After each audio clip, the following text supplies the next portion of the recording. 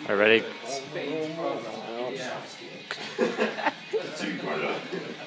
Behind this and the symbol of repression. Soft burst of music.